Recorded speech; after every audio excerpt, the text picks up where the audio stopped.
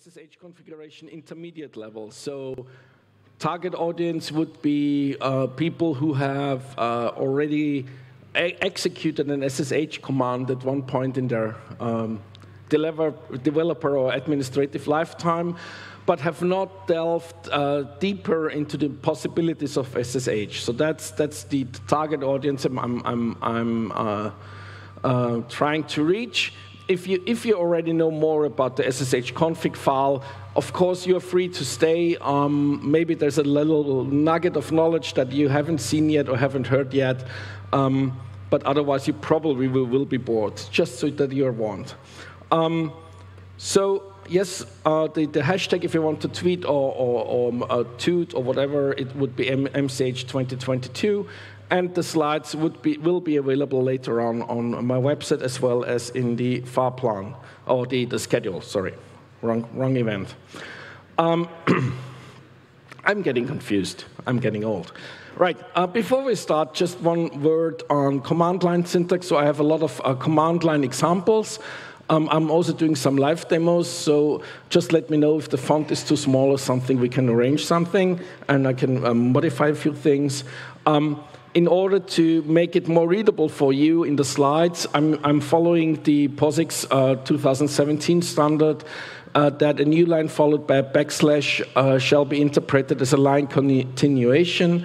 Uh, to give you an example of that, so the, the command ls uh, minus a minus l minus t slash temp would be could also be written as ls backslash new line minus a, minus a backslash new line etc etc. The right hand notation is just more readable on slides. You can just compress it into one line once you execute them. Right. So should we get into it? I think we should because otherwise I'm running out of time. But I think we're good on that. Um, that's, that's your usual command, right? That's what you do if you do SSH on a machine. Um, you have the command SSH, then you have the username, the at sign, and then the host uh, that you want to reach. Once you, once you enter, enter that, um, whoops, not yet. Once you enter that, you, uh, the server prompts you for the password or even wants to verify the, uh, the, the, the uh, fingerprint of the server and then asks you for the password. And if you then then you do your work, you disconnect. Later on, you connect again. The server again asks for your password. You type this in over and over and over again. It's it's a little bit boring. If you're using S for example, to copy files, again, uh, you have to to, to execute uh, SCP username at hostname. Then it asks for the password, and that's rather boring and and and, and repetitive. So let's see if we can do something about that. And I mean, this is, of course, the uh, easy example. It could be a lot worse. If you have a system administrator who's heavily into uh, H.P. Lovecraft inspired uh, server names, you get server names like these. And I think you don't want to type this more than once, right? I mean, that's just uh, calling for problems. Fortunately, uh, this is, by the way, the god of Zykranos um, and is one of the greater old ones, in case you wonder. Um, the thing or the, the SSH um, feature that we are going to use and which I will spend a lot of time on is called SSH config. Um, so um, if you do a man a man 5 SSH config, this is the information you will get. I mean, this is a lot more condensed than the man page. Um, basically, you can configure your SSH command, of course, through the command line options username at host and a few other, uh, other uh, commands and parameters. You can use a user, um, a user configuration file. So this is a configuration that is applicable to for and to each user. Each user can have his or her own um, config file. And of course, as a system administrator, you can also uh, provide a system-wide configuration file for the SSH client. Um, in this, in this talk, I'm going to, to focus on the user configuration file, um, which is hosted in the user's homepage, which is um, um, symbolized by the tilde, and it's in a hidden in a hidden directory called dot, dot .ssh. and it's called uh, config, surprisingly. Yeah. Um, what can we do in that config file? Well, what, for one thing, um, we can define hostname aliases. So in case of, of the name of an elder god or something like that, you can just define the host demo and then uh, specify one or more host names this applies to. Oh, the other way, no, sorry, sorry, the other way around. So you have one host name, your target, your the server you want to reach is ssh-server.example.com, and with the host statement, you can give it one or more um, aliases which is useful, which cuts down on the characters you have to type at the command line um, quite heavily. And you can not only have uh, one alias for the same host name, but you can have several aliases for the same host name. So you can have demo, D1, or Popocatépetl if that's more your thing to type. And so instead of sshserver.example.com, I just type sshd1, and that cuts down tremendously on the number of characters I have to type um, to reach that server. Um, furthermore, the host name also has a nice feature um, to use a wildcard to support um, grouping similar host names. So if I have um, SMTP, IMAP, and uh, www host names that are all uh, connecting to the same to the same or resolved to the same machine, um, I could use the a percent H feature uh, to, you, to um, use the, the, alias as the host name in the um, fully qualified domain name of the host name uh, parameter. Right, so that already, so instead of um, SSH, uh, uh, ssh-server.example.com, we can just type SSH demo. So that's, that's one, one thing we can um, cut down uh, on typing. The other thing we can cut down on typing is, of course, the username. So I still have to, to type SSH username at host or at alias. Um, fortunately, the config file also has a user uh, directive, so I can specify a username I want to use for that particular host or alias, which cuts down on the amount of type tremendously. So compare these, these, two statements. The first one is the one I showed you at the beginning. It's SSH username at hostname, and now I just have to type SSH demo, and everything I specified in my config file um, is therefore applied, and I don't have to type it um, myself. So um, this is all sounds good, but let me show you how this actually works. So I am on my I am on my server, on my, on my client, um, and I want to configure my SSH config. So I load, I start my, my preferred editor, and I'm going to my, let's see if I can type while everyone is watching, and there should be, there will be a config file. So I'm using an editor, not an operating system like Emacs, and um, this is, this is what we just talked about. I have my target server, which has the host name of sshserverexample.com, and I define two aliases here. One, one is demo, the second one is bastion, which I will need in a later example. And I specify my username um, for, this, uh, for this setup, which is, uh, in this case, leyrer. And if everything works as I expect, I should now be able to do a SSH demo. And I'm connected to the server, and uh, asks me for my password, and I'm connected to my server. So that would be, as I said before, a tremendous uh, cut down on the number of characters that we have to type, and as we are all system admins or developers, we are all lazy. We want to cut down on the thing, we, the stuff we actually have to do. We much more prefer to wait for the for the compiler to compile or to the uh, file transfer to uh, complete. Right. So as you noticed, this this cuts down on the connect. Whoops, connectivity, uh, but we still the server is still um, asking for a password. So how can we, how can we fix this? Well, there's something called SSH public key authentication. So that helps us. It, it uses basically the, the public-private key um, setup that we already know from TLS or, or other protocols uh, to use um, keys to authenticate against the SSH server so I don't have to provide my password every time I want to connect to a server. Additionally, um, the SSH public key authentication uh, improves security considerably um, and also offers additional usability, user, usability benefits like single sign-on across uh, multiple SSH servers. And another neat feature I will show you in a little bit once we got this all set up. Um, the one thing you have to remember um, for asymmetric cryptography, you probably know, but I want to emphasize this as I'm targeting maybe new developers or, or new uh, system administrators, is there are two keys in play with asymmetric cryptography. There's a public key and there's a private key. The public key you can share with everyone. That's uh, sharing is caring. Share your public key as much as you like. There's no problem with that. Put it on the server, post it on your website, send it through fax if you live in Germany. Um, it's fine. On the other hand, the private key, the private key is something you keep to yourself. That should reside on your laptop, that should reside on your, on your PC, and you should not hand that out. You should not put it in a Git repository, you should not put it on a, on a cloud store.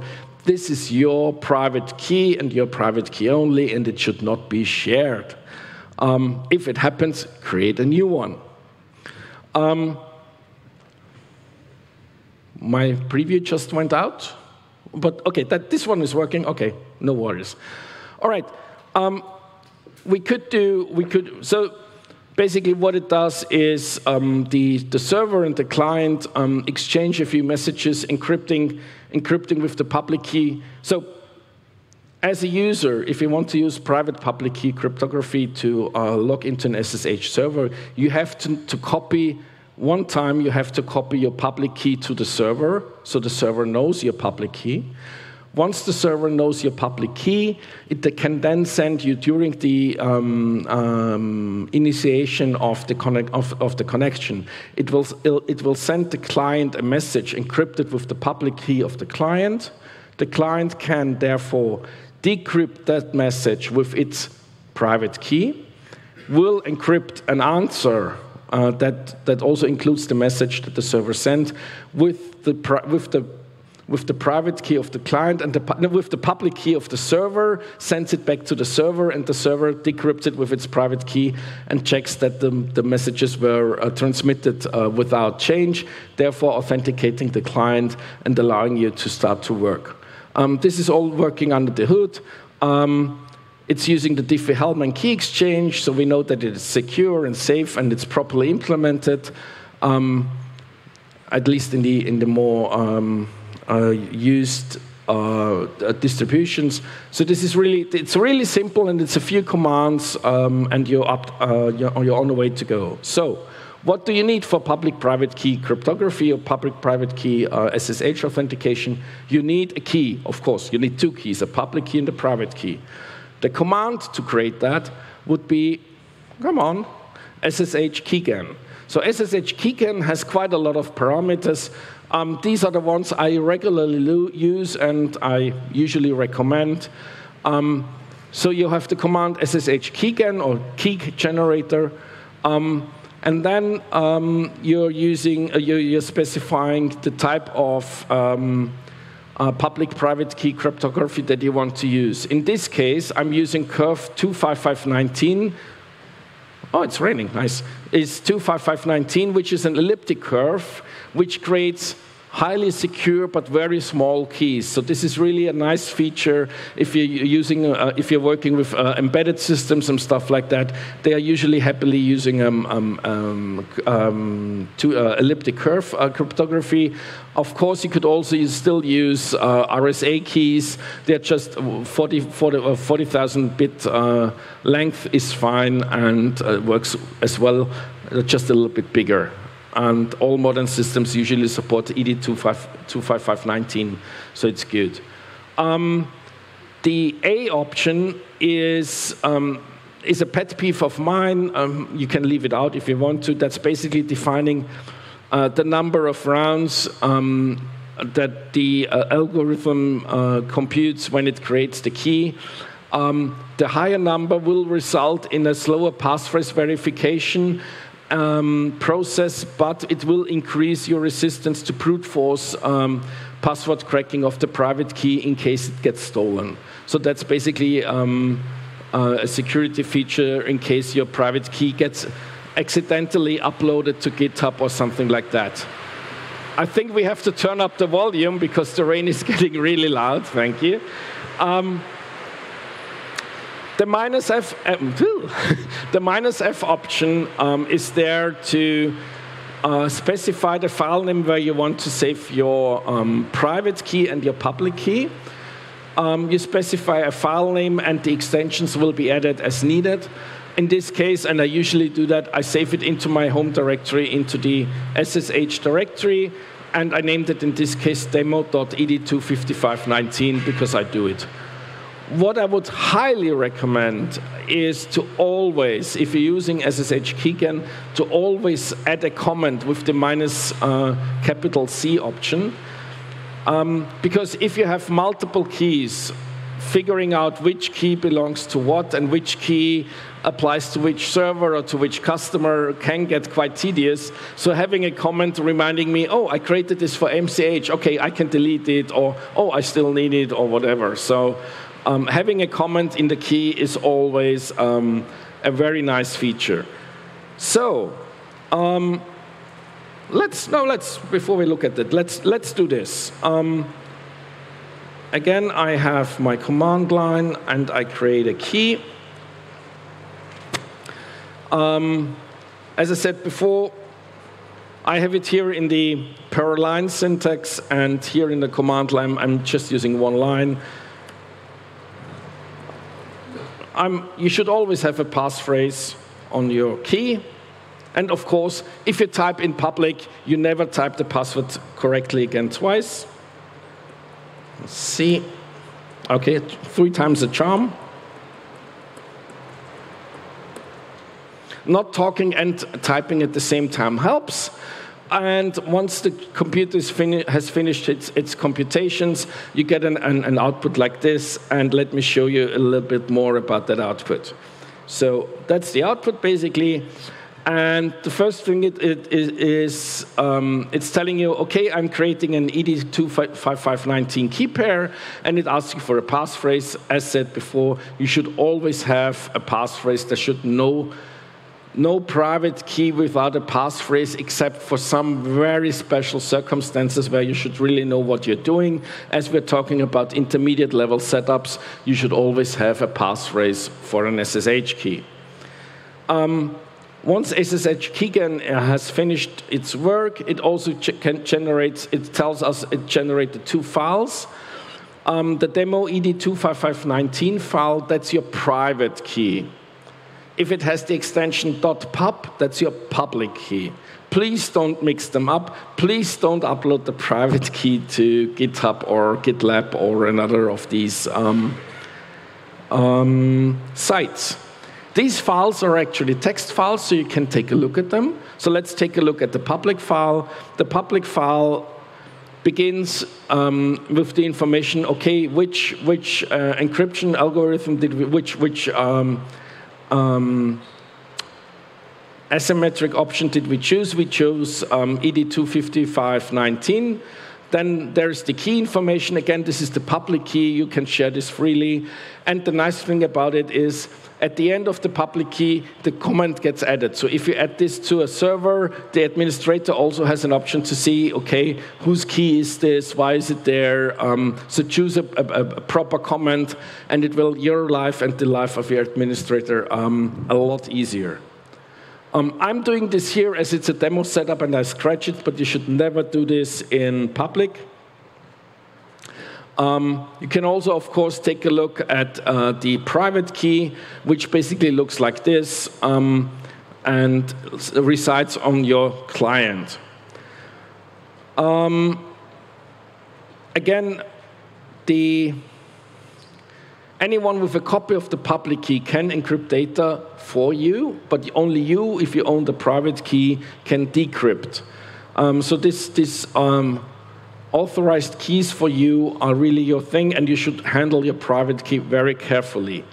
Um, on the other hand, um, the public-private key um, key pair is free. They're free to generate. You've seen this takes literally a few seconds to generate once you have the command down. So please, please, please create more than one key. If you connect to different servers, if you connect to different customer servers, for example, have at least a, a key pair for each customer.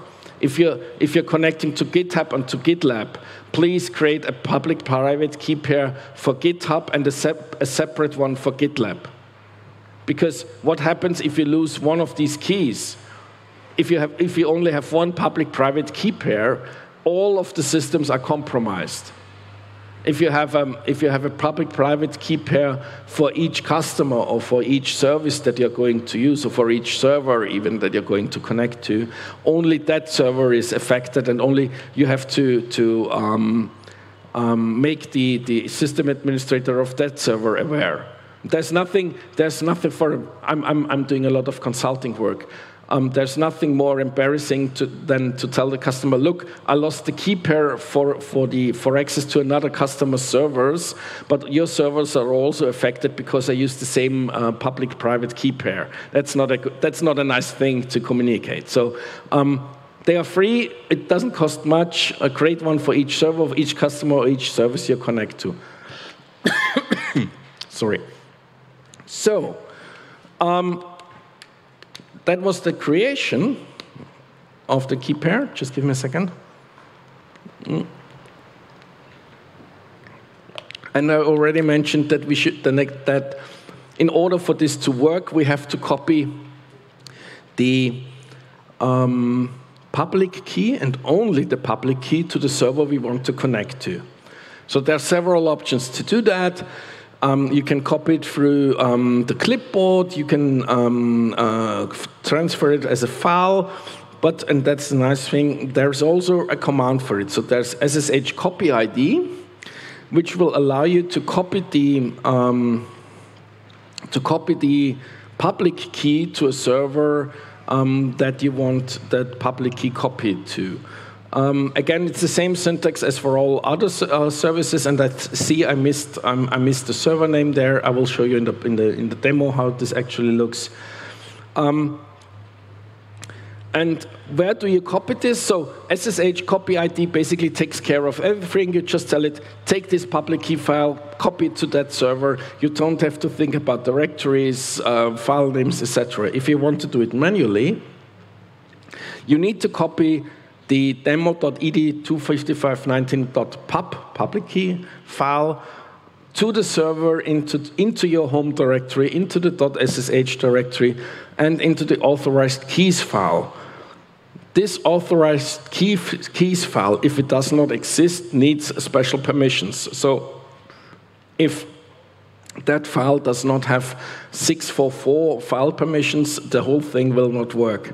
Again, SSH copy ID will take, will take care of that for you and will create that for you so you don't have to think about that. That's why I'd like to prefer um, the SSH copy ID command over the manual creation of that file.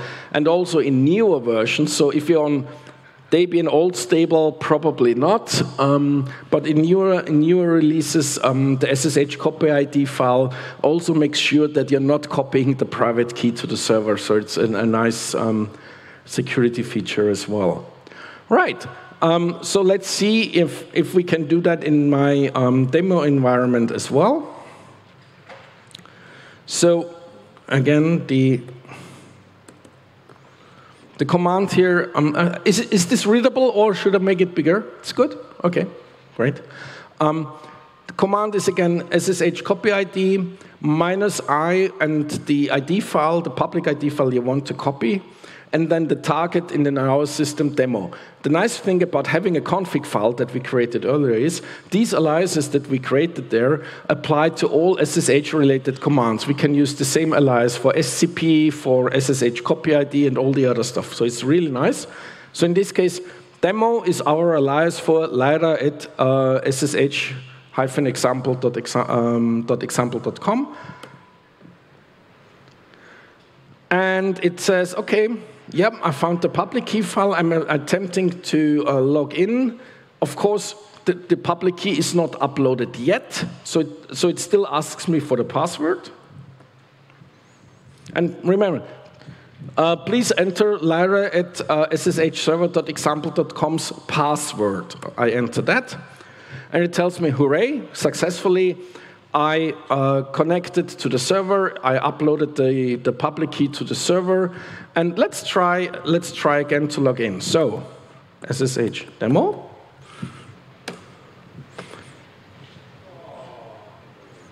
It, why is it asking for the password? It shouldn't ask for the password.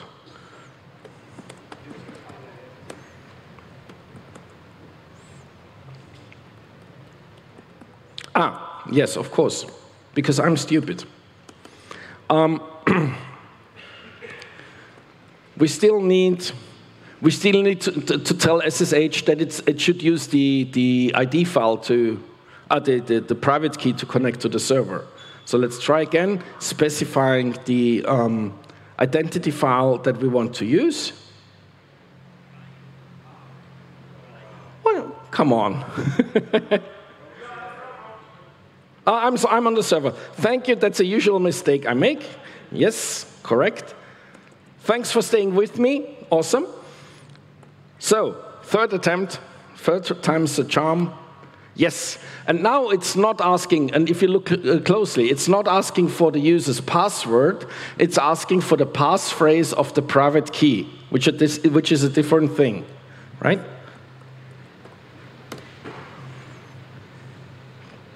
Yeah, and it's connected to the server. Hooray! Thankfully. So we now basically have established that we can. Um, let me just log out here again because otherwise. that wasn't good. That was one. That was one log out too many. Uh,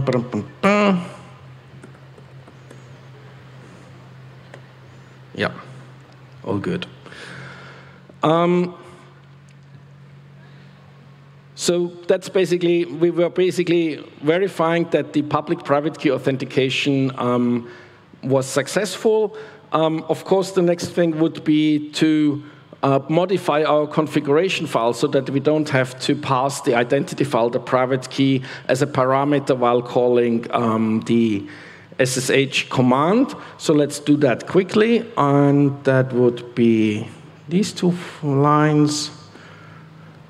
.ssh config. Oh, let's do it properly.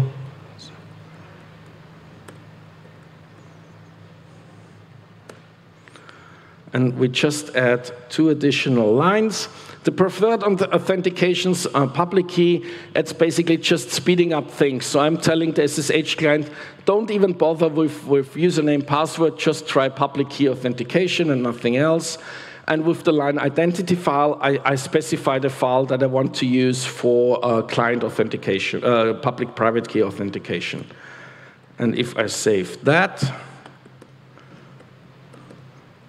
and now what I had in mind should work. So we have the username, the target host, and the identity file that we want to use in the config. And again, it's asking for the passphrase, and um, I'm able to log in. Yes, hooray awesome. It's nice when something works. Again, uh, preferred authentications, public key to speed things up, and the identity file to, um, to use in that case. And again, public private keys are free, they are easy to generate. Use a different identity file for each service or for each server that you want to connect to. And we said before, um, SSH demo, and we, we don't have to type that much, which is awesome. Hooray! Um, next question that usually comes up at, when I give this talk is, yeah, but we haven't, we haven't, we haven't improved anything. We still have to type in something. We don't care if it's the username or the, pass, uh, the, the, the password for the user or the passphrase for the private key. Yes, that's true. Um, but there is a solution for that. Um, so we are now at the stage where we have public-private key authentication to the server enabled, which is of course more secure, etc., etc. But how can we um, work around the issue that I still have to enter a passphrase uh, for that key. And again, it's the passphrase for the key, not the user's password. Well, there's something called SSH agent. And SSH agent is a small program that runs on your machine, creates a socket, um, and waits for SSH uh, to request the private key um, unencrypted uh, to make to do its work. This is very very convenient. So you basically you start SSH agent, you do an SSH add to add that key to the agent. Uh, the agent keeps that key in memory um, and makes it available to the SSH client in case um, you want to connect to a server. So you only have to present the passphrase once, and after that, the second, third, fifth time, it does not ask for the, for the passphrase of the private key again. That's the hardcore low-level command line only um, option. If you're using a graphical user interface, um, if you're using GNOME Keyring or K-Wallet, or if you're using a Mac, um, the SSH agent functionality is usually is usually in, uh, incorporated into into uh, these tools. So if you're using the GNOME desktop, um, usually the GNOME keyring um, um, decrypts or decrypts or opens has has all your SSH um, private keys um, unlocked. That was the word I was looking for. Unlocked as soon as you log into your into your operating system's desktop. On on Mac OS, that's the same for the keyring. You log into the Mac OS, and all the SSH. Uh, uh, client certificates are unlocked once you're unlocked into the system. If you have high secure uh, um, requirements, if you have requirements for a high secure environment, you want to rethink this and um, maybe you, you, want, you will have to um, enter the passphrase every time. And in my uh, advanced, advanced, advanced talk, um, we can also take a look at storing the private, the, the passphrase on a FIDO2 device or use FIDO2 or, or, and other stuff to do, to do, to do two-factor authentication. Too many tools in there. Um, but for now, um, let's, let's take a look at SSH Agent. Again, if you're using a graphical user interface on your, on your laptop, and of course 2022 is the year of Linux on the desktop, um, so let's do that. Yes, one more thing on the SSH Agent. Um, you can, um, if you add a key to that SSH, so SSH Agent runs in the background and waits for a connect. Um, and if you add your private key to SSH agent, you can give an option of minus C, which will instruct SSH agent to, to prompt you, are you really, uh, do you really want to use that key now? Um, this is so this is their stopgap to to make it a little bit more secure but again if you have high security um, requirements you might might want to rethink the usage of ssh agent so Again, SSH agent is running in the background, and I need to add um, my private key identities to, to that agent. So there's a command for it called SSH add.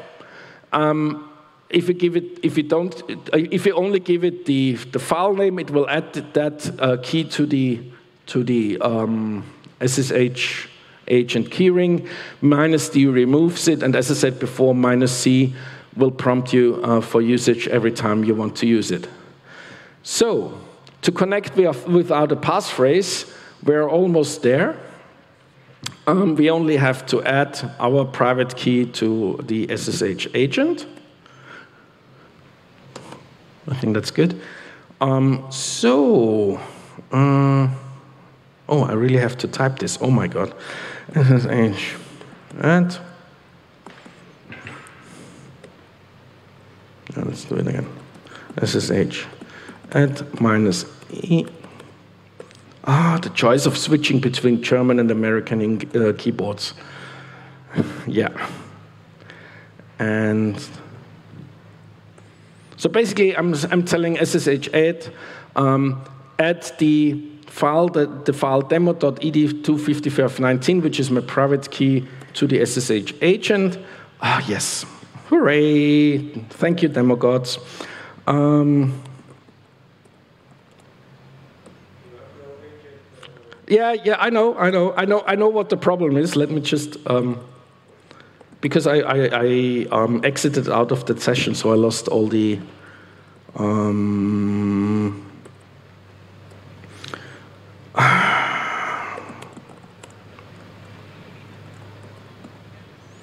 let me first switch to the proper keyboard and then it's easier for me to type.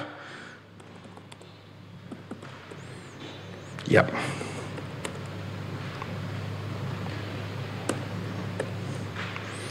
And I wanted to hide this from you, but apparently that was unsuccessful. Right, so let's try again. SSH add.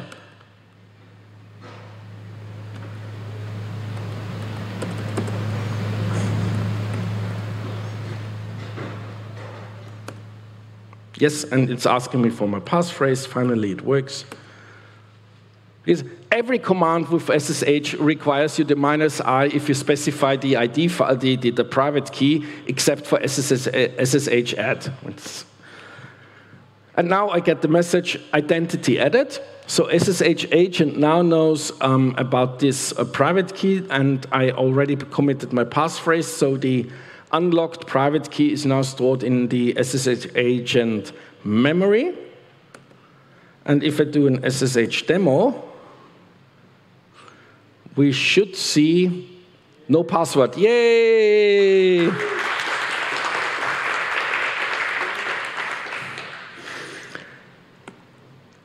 One more thing. The nice thing about SSH is um, once you have this configured and running, what you, for example, could do is an SCP. So SCP is copy, right? It's file copy. It's like a local copy, but over the over over over the net. And I, I want to copy something from the server to my local machine. So I give it the alias. Again, the config file works here as well and then I say, okay, I want something from etc. And now I do a double tap on, on, on the tab on the tab key, tab letter key. And I get remote uh, tab completion, which is very nice and, and very convenient because I can't remember the paths and the file names. I'm old, I don't want to think about those.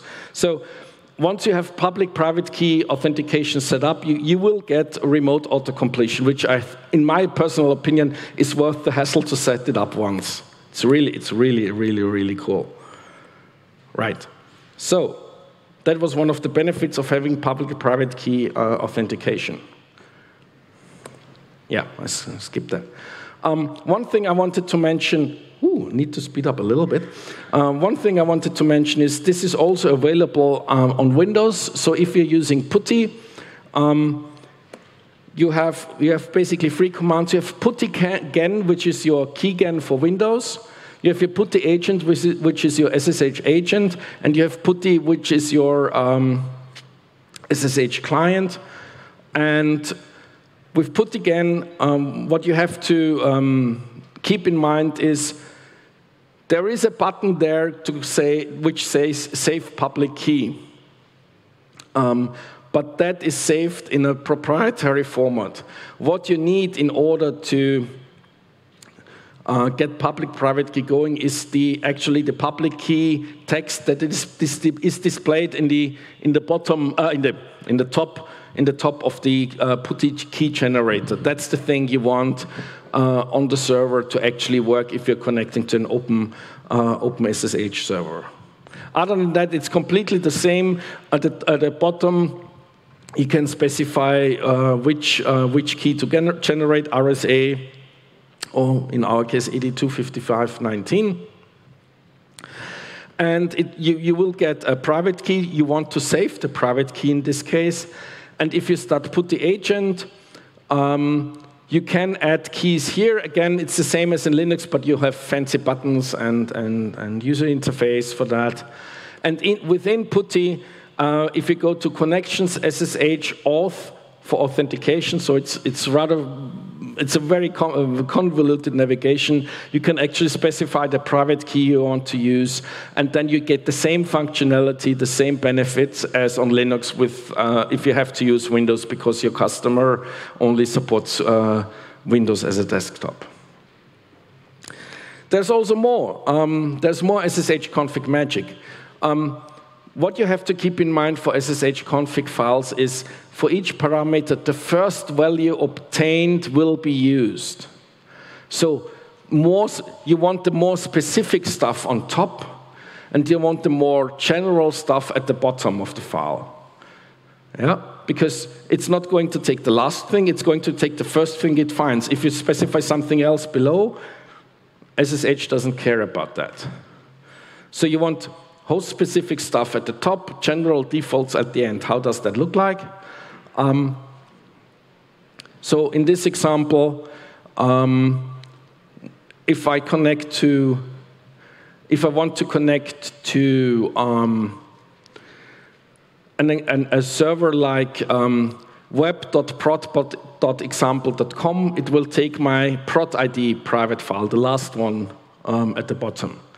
But for one server, which is unicorn.prod.example.com, it will not take the prod ID at the bottom because I have a more specific uh, thing on uh, above that, and it will take the fluff, uh, pink fluffy ID as the uh, private key for that, for that particular server.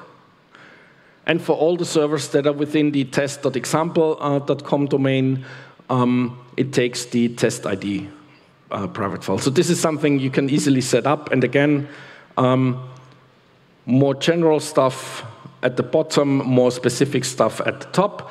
Uh, to give you another example, um, this is again uh, something from, from my demo here. You will have your, we have our demo host entry with the host name and username and preferred authentication. Then we could have several more host entries, and then we have a catch-all that is host asterisk, and that's basically setting uh, additional stuff. Uh, what I usually want to have is compression, yes, because I have to connect to servers in the US and Asia, so, so compression does help. And the identities only is also a nice thing because otherwise SSH will just try every identity file it finds um, to connect to that server and you will get errors and with identities only. It will only use the identity files specified in the host entry to use to connect to that thing. Um, I do have to speed up a little bit. Um, what you could also do is um, within the .ssh directory, you could have conf.d, uh, conf.d directory where you can have multiple files, so you can separate the configuration out for each customer or each server you want to configure and it pull, pulls those in um, in alphabetic order. Last thing I want to touch on, that's why I'm skipping this a little bit, is um, Bastion or jump hosts. What do I mean by that? Um, you have your client, you have something called a jump host or a bastion host that is connected to the internet, and you have the actual server you, where you want to work on or where you want to work, uh, have to do some work on that is not reachable uh, from the internet directly or from your client directly. So you have to go, go through that jump or bastion host. So what you usually do is you SSH into the bastion host then you're logged in at the Bastion host, and from there, SSH to the target host. So basically, what you do is SSH demo or Bastion. Uh, let's let's keep it with demo, right? And then you do um, where is it? Yeah, and then you and then you SSH further on. And then you SSH further on to and I'm using the same username here. I'm, I'm, i like to, to explicitly uh, specify my usernames. Target.local, which is a machine I can't reach from my client. Target, of course, dummy. And I'm on my internal server. So that's what you usually do, and it's right, quite cumbersome because you have to log in and log in and log in and log in. Server client, here I'm correct. So what you, what you can actually do is you can specify a, something called a jump host. So with the option minus capital J, you can def define a jump host or a jump host alias that you want to use to get to the, to the target machine. So I want to connect to target.local, but I'm telling SSH to use Bastion as an intermediate, as a jump host. Of course, everything that is specific uh, that you can specify on the command line, you can also put into the uh, config um, into the config file. So in this case, I have my specification of my demo host alias, and I have an alias for internal. And if I specify, if, and in there, in the host internal, I can specify proxy jump and the alias, and with that, it knows, okay, if I just enter SSH internal, it will automatically use the Bastion host to connect to that machine.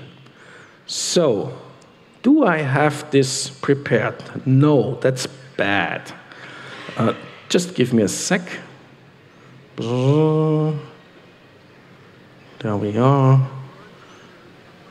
Yeah.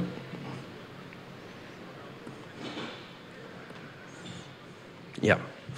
So uh, on my client.ssh config, I'll add this and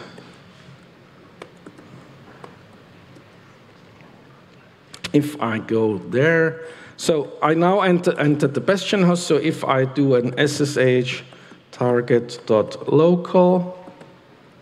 no, just local. I, I created an alias. Internal, thank you. I created an alias called internal, and it tells me, yeah, you're connecting for the first time. Yeah, that's fine. And I haven't figured, I haven't configured pub, uh, public-private key um, authentication for that as well. The nice thing, the nice thing, if you configure it that way, is that the first connection gets tunneled through the SSH. So you connect to the Bastion host, and then you connect through that connection to the internal server. So if you pass on the um, identity, the identity file, the, the, the SSH agent can talk directly to your internal servers. You don't need agent forwarding and everything else, which is a lot more secure than having uh, SSH uh, agent forwarding running on that Bastion host. Um, but of course, it also works with um, password authentication. Um, again, if you, if you have an older uh, SSH configuration, you can also do, uh, fall back to the proxy command. I'm just leaving this here in the, in the slides as a reference. Um, please, please, please, please use the jump host directive, use the minus J option. Do not use minus A or agent forwarding anymore. It's insecure. Uh, you shouldn't use it. Um, it's outdated. The jump host is the better option. Um, I will skip that. You can read on that uh, if you want to. And that concludes my short and uh, rather, no, rather long talk. Thank you very much for your um, uh, participation and have a great day. Got time for one question. Yeah, yeah, let's do let's do one. Thank you. Yeah, actually, yeah, the demo gods were not kind, but actually, it helps to see that you make mistakes, we all make mistakes, and then we correct them and we learn. Um, we've probably got time for one, one or two questions, if if anyone has one. Oh, we've got one here. all right. Good morning. We jumped morning. in a little late, but is it possible with the jump host to also forward local and remote uh, tunnel sessions? Yes. Okay. Yes, you, you, you can configure it the same way yeah, normally. Yeah, as, as usual. Okay, perfect. That would be that would be my advanced advanced talk. Maybe next year or next time. Right. I'm, I'm still around. I'm, I'm helping. I'm helping with teardowns. If you have any questions, feel free to approach me, um, and I will be around. Thanks very thank, much. Thank you very much indeed.